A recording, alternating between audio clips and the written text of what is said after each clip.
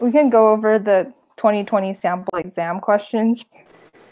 Um, wait, have most of you guys already done these? The No. simple question? Yeah. No. but we can, Yeah, I don't really it's- To be fair, I haven't done any AP bio assignments since like March. oh my That gosh. sounds about right. It'd be like Okay. the I do. So um, do you want me to go over? Because I have the answers. Like I prepared the answers already. So if you do, you want me to? I literally to? never even learned an entire unit of AP bio, and I'm scared. Oh my god. Bruh. like I never learned. Wait, which cell signal. one? Um, the 2020 sample question about mosquitoes. Oh The- my lord. You should read it. what happened? Weird. I'm on a document. What's up? I don't have the full document. I don't know where it is. So, um. Oh, okay. So, do you want me to just go over the answers, or also go over the question? Get over the question too. I think the Yeah. questions, yeah, because I doubt half of us have done Yeah. it. So Okay. So, I'm sorry. yeah, it's fine. I'll post the. I'll just post the link if anyone wants to like follow Yeah. along. Thank you. Um, so okay, so basically the question just talks about mosquitoes. Oh yeah, the thing about the sample FRQ is like I don't really know why College Board releases uh, released this as an FRQ because like some of the questions are related to evolution. So um, I really don't know why College Board is making this a sample question. Like it's a horrible sample question because a lot of units are removed. The evolution units are all removed. So um, yeah, so basically, it just talks about mosquitoes and basically um, has like erythroids resistance. Like some uh, mosquitoes have pyrethroids resistance to the fact that um, there's a substitution in a sodium channel, which phenylalanine substituted to leucine at amino acid position 1014. And so basically, it just says like scientists think that this is why there's uh, resistance, and that. And so basically, they give you two regions. Region has um, is one region has um, mosquitoes where a lot of insecticide are um, sprayed, and then you have region B where little insecticide is sprayed. So, I also give you um, a chart or a data table, and then it tells you about different uh, resistance between region A and region B, and then it basically used different types of pyrethroid insecticides. And as you can see in region A, there um, one of the um, one section they sprayed with uh, permethrin or whatever, and then basically there's lower mortality. And then uh, right now, like I'm immediately thinking that there is that region A obviously has more um, resistance than B, just because it has lower mortality and also had more insecticide usage. And so, if you can see, and region B has a lot higher mortality rates, but as you can see from October 2008 to June 2010, there's a massive decrease in percent mortality, uh, which probably will correlate with some sort of increase, um, like pyrethroid resistance in region B. And so they also give you a data table, and it, uh, region A has more homozygous for phenylalanine, which is the a substituted mutation that apparently gives pyrethroid resistance. And you can see region A, which had more spraying of insecticide, also has more um, flies homozygous for phenylalanine, which is the resistance. And you can see uh, region B has less hom- or less mos- mosquitoes homozygous for phenylalanine, but that there is a significant increase from 2008 to 2000 2010. So more mosquitoes fully gained resistance there. Okay, so um, so the first question says like describe the most likely cause of the amino acid substitution in sodium protein. And so um, okay, so basically um, answer could be due to could be due to a mistake during replication of DNA. which a different nucleotide was placed. So, um, is that if you put something like mRNA substitution or protein substitution, it might not be accepted because isn't a permanent um, mutation, because it might be temporary for one protein to have one substitution, but since so you have to put DNA because DNA is the um, because DNA is permanent, so it'll be there ever compared to protein where one one or two proteins might have that um, mutation. Oh, I have a question. Yeah. Uh, do you guys have a question? Um, so let's say I say that it's just a mutation in the DNA, which what which resulted in uh, uh um the resistance. Would that be something that gets me a point? Wait, uh, can you repeat it again? Um, I just have to say it's a mutation in the DNA which caused um a uh what's it called a resistance against the uh the. So that would be okay, right? That would Yeah, give me a you- point. Yeah, you should say something about how it's related to mutation in DNA and not RNA or proteins. Okay. All right. Thank you. Um, and okay, um, so part B says explain how the substitution of a single amino acid in the channel protein could cause pyrethroid resistance in mos- mosquitoes. And so uh, I said like I think a possible answer could be single amino acid substitution can lead to a change in the binding site of where pyrethroids bind, leading to an inability of pyrethroids to bind to the sodium channel protein, which is crucial in mosquitoes. So substitution you can say anything about how a substitution may affect the binding site of where pyrethroids bind. Um, then uh, part C says identify the dependent variable in the experiment whose data are graphed in figure two. And so the dependent variable would be um, basically the percent mortality of mosquitoes different regions due to the spraying of pyrethroids. So the depend so yeah, so basically if you wrote anything about the mortality in mosquitoes, that would probably be correct based on figure two. He says identify the positive control in the experiment. So positive control is basically when you um it's basically a control where you know what will happen to? So you're doing usually a you test will- cross. you basically know what will happen to the control. Like, you know what happens um, in a positive control, but you don't, you won't really know the results to a negative control. So that's the difference. And so, in this case, the positive control um, says over here in Figure two that um, a mosquito strain is some mosquitoes were exposed to untreated filter paper, and so that's basically your um, positive control. It's the mosquitoes that were exposed to untreated filter paper. And so uh, part E says, like, justify exposing some mosquitoes to untreated filter paper each time the experiment was performed. We want to say something about how crucial it is to have a control group performing an experiment.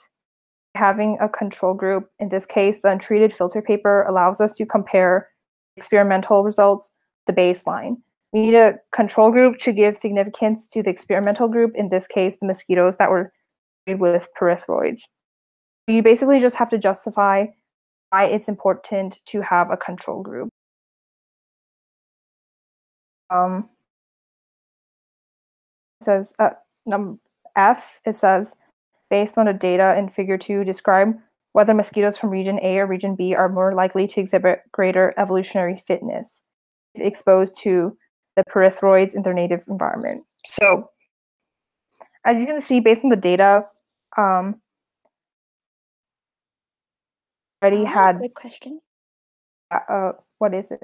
What would the negative control be in this? Um, um, I'm, I'm not um specifically sure because I think it really depends on your um experiment because I don't think this one really has a pos uh, sorry a negative control because it really depends on your experiments. So not all experiments have a positive control or negative or some not all experiments have a negative or positive control. It really depends on your experiment, I think. or correct me if I'm wrong. So I think in this experiment, there's only a positive control. There's not a negative control. I I'm pretty sure that's what it is, but um, if someone can correct me, um, yeah, but I'm I think that's what I'm pretty sure that not all experiments have a negative or positive control, but they have to have like some sort of control. Ah, okay. Thank you. Um, so he says based on the data in figure two, describe. Oh wait, so actually wait, we're in F. Sorry. So based on the data, describe whether mosquitoes from region A or B are more likely to exhibit greater evolutionary fitness. Like um, this question, like it's not really relevant just because it's not um, evolution was taken out of the test. But um, for the sake of it, we're just gonna answer it still. So um, basically, I think it should be region A that exhibits greater evolutionary fitness because of the fact that region A has more um, pyrethroid resistance. As you can see by the table that shows it's homozygous for phenylalanine, or more mosquitoes homozygous for phenylalanine. So that means that region A should exhibit greater evolutionary fitness because mosquitoes in region A have already previously been exposed to pyrethroids, meaning that there is a selective pressure favor the substitution of leucine to phenylalanine in sodium channels, leading to pyrethroid resistance. As region B has not been exposed to pyrethroids yet, very few flies may have this mutation and a selective pressure for this substitution has not yet been put in place. Um, that's the answer I put. Um, but yeah, I think, I think, um, so if you said probably anything about region A, because um, of the fact that it has resistance pyrethroids, um, it should probably be correct.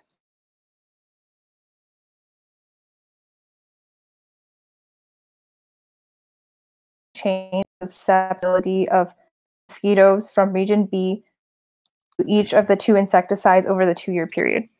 Um, so I said that there was a significant change in region B, that there is a significant decrease in mosquito mortality rates over the course of the two-year period.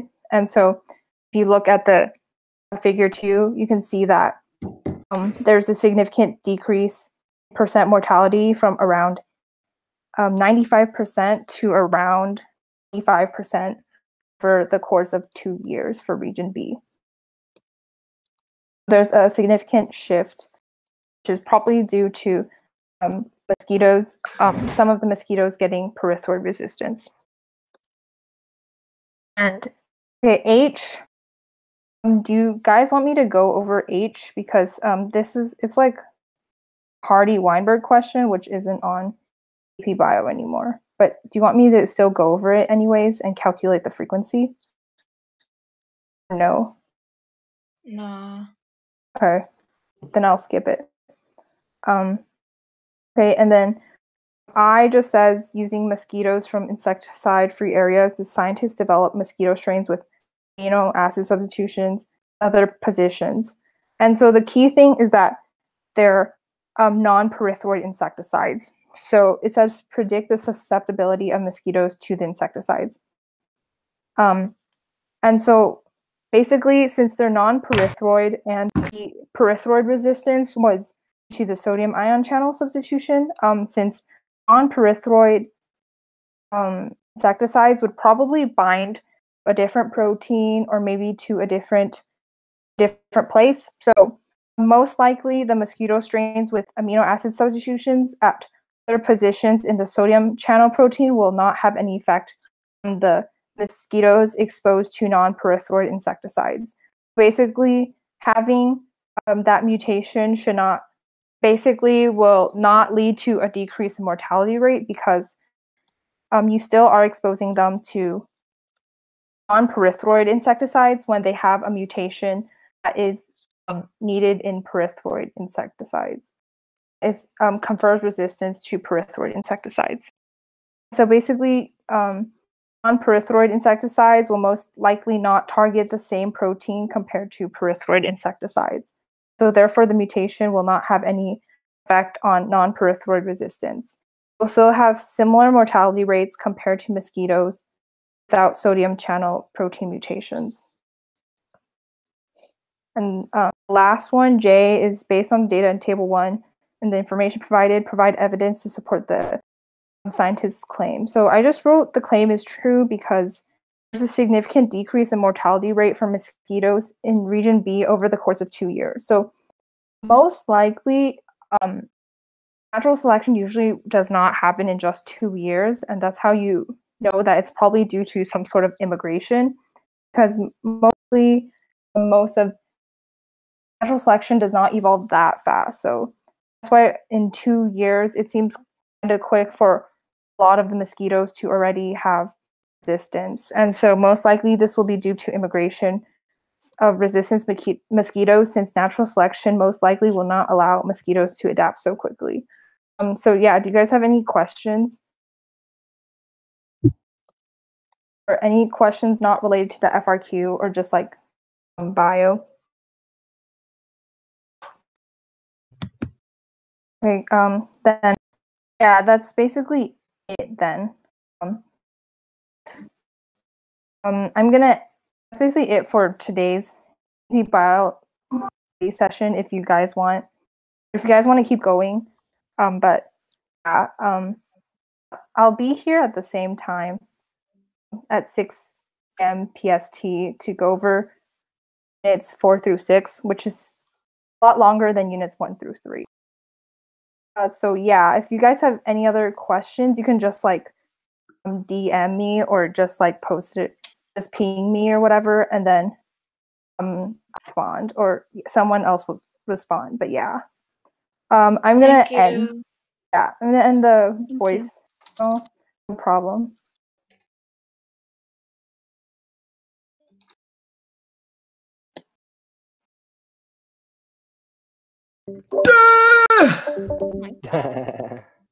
Bruh. People are Alright, who's ready to die, gamers? Rest in peace, everybody. Yeah, me Gamers, too. gamers, let us unite. Yeah, this whole fucking thing is filled with sophomores. Yeah. I'm a senior. Really? Fuck me, dude. Damn. I got, I got my sophomore. cap and gown There's today, boys. sophomores in here? Yeah, I'm a I'm a sophomore. sophomore. Oh my Wow. god. Aw. Aw, what? Aw. Senior oh. gang? Anyone? 2020 gang?